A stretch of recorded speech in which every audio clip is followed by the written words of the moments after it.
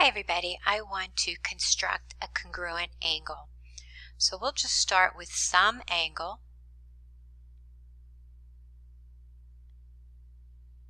And let's say I want to construct an angle that's congruent to this angle that you see on the board. So what we'll do is we'll start by drawing a segment. I'm going to go ahead and put a point uh, on the segment. I'll put a point on the vertex of the original angle. And next thing I'm going to do is I'll get my compass out and I'm going to draw a an arc.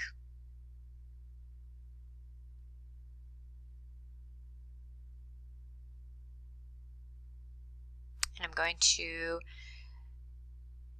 with the compass locked, I'm going to go ahead and draw an arc on the segment from the point that you see.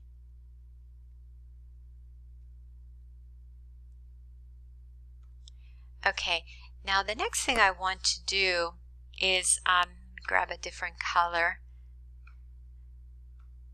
Okay, so what I want to do next is I want to, I'm going to make some blue points so you can know what I'm talking about. What I want to do is I want to measure, I want to take my compass and I want to draw an arc from one blue point to the other blue point. So in other words, I'm just measuring how wide that is with my compass. So let me drag the compass over. I'm going to unlock my compass so that I can get this just right.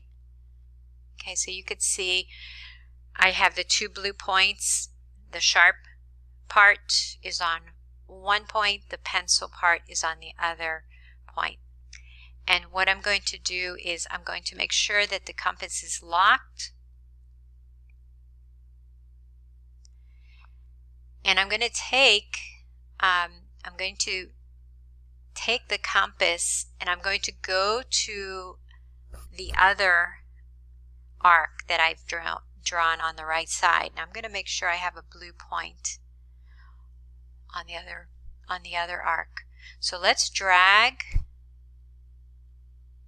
let's drag the compass. You could see I'm going to take the compass and put the sharp point on the blue point uh, you know, it didn't look like I had my compass locked. Let me go back. I want to make sure that I'm at the right point. Okay. All right. So, yeah, I locked it. Now that I'm sure I locked my compass, I'm going to draw another arc. I'm going to put the um, put the compass away. Make a blue point now what I'm going to do is I am going to use my segment tool and I am now going to connect vertex to that other blue point. There you have the congruent angle. Now just to just for fun I'm going to go ahead and measure. I'm just going to take my protractor just for fun, I want to see how, how accurate this really is. Okay, this looks like about maybe like 53 degrees. Let me see if the one on the right is about 53 degrees. And it is. Looks like it's about 50 degrees. So um, let me know if you have any questions or you need any help with this.